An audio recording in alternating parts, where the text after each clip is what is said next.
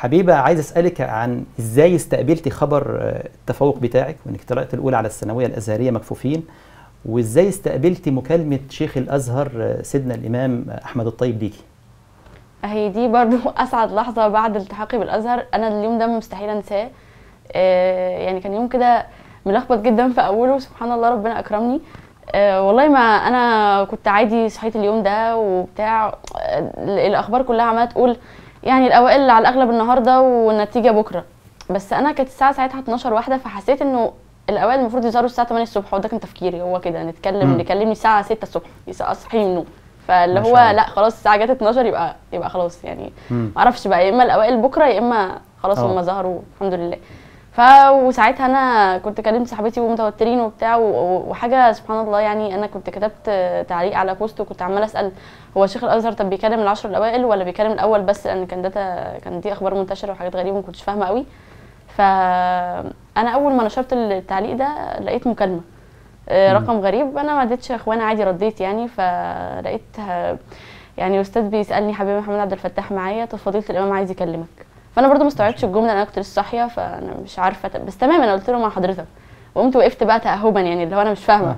آه. فبس لقيته بقى فضيله الامام كلمني أم، يعني أنا ممكن أعيط والله مع تذكر اللحظة. هو صوته طبعا أنا بالنسبة لي معروف فأنا أول ما سمعت الصوت اللي هو ده ده كده بجد يعني. أنا كده هيبلغني بجد ولا إيه بقى؟ فقال لي فعلا أنا ببلغك بخبر إن انت الأولى على الجمهورية مكفوفين وببارك لك وكده. طبعا كان المفروض أقول الله يبارك فيك بس ده ما حصلش. وأنا قعدت اعيط بقى. ليه بس؟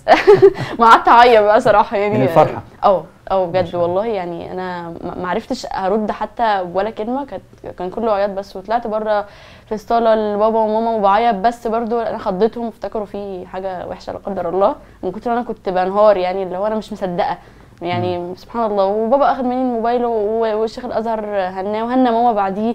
وفي الآخر برضو أنا ما ردتش عليه وقلت له الله يبارك فيه بس مش مشكلة. بعد كل ده. مش مشكلة. يعني كل الشكر والتقدير والعرفان لشيخنا الجليل سيدنا طبعا. الإمام أحمد الطيب ربنا يحفظه ويبارك فيه.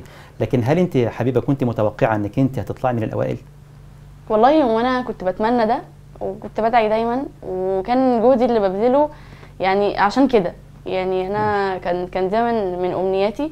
ورغم ده كله أنا المكالمة مش مش مصدقاها لحد دلوقتي يعني أنا مش فاهمة أنا كنت بتمنى وكل حاجة بس الحقيقة آه بس كان عندك مختلفة. يقين في الله وعندك طبعاً. حسن ظن في الله مع أخذك بالأسباب في مذاكرتك واجتهادك إنك هتطلعي الأولى إن شاء الله طبعا أنا وصلت هنا أصلا باليقين في الله سبحانه وتعالى كنت بدعي وحاسة إن أنا من جوايا أنا بدعي الدعوة وأنا شايفاها بتتحقق قدامي يعني حتى.